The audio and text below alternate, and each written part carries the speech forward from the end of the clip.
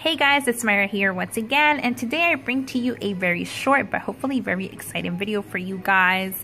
Today I was organizing my coupons and I decided that I would do a mini giveaway and give some of these coupons to one of you guys and there's actually some pretty good coupons. We have Neutrogena coupons, we have Tic Tacs. Um, there's going to be a really good deal at CVS starting this Sunday with the Tic Tacs and we have Oribe, we have Scott. There will be CVS deals with Scott in two weeks.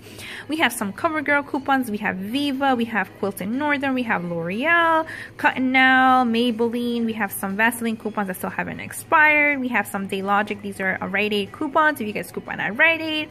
Um, we also have Ban coupons, this is going to be a freebie next week at CVS, so this coupon will really, really good.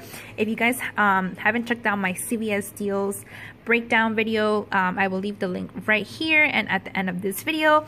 And we also have this these um, Almay coupons that are really good. They're $2 off any Almay cosmetic. The only thing is that excludes it's the um, 15 count oil free eye makeup remover pads and the deodorants but they're really good for anything else so i will be including a couple of those really good coupon so yeah guys so all you have to do to enter this giveaway is one be subscribed of course.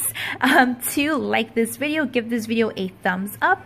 And three, just leave a comment down below saying that you want these coupons. But surprise, I'm not only going to be giving away these coupons, but I'm also going to be including a $10 Starbucks gift card. Last time that I did that Starbucks giveaway gift card, um, gift card giveaway, a lot of you guys were really excited. So I decided to include it in this giveaway as well. So one of you guys will be winning all of these coupons plus a $10 Starbucks gift card. So yeah guys, just comment down below if you want to enter and good luck to everybody. Thank you so much for watching. Until next time and luck.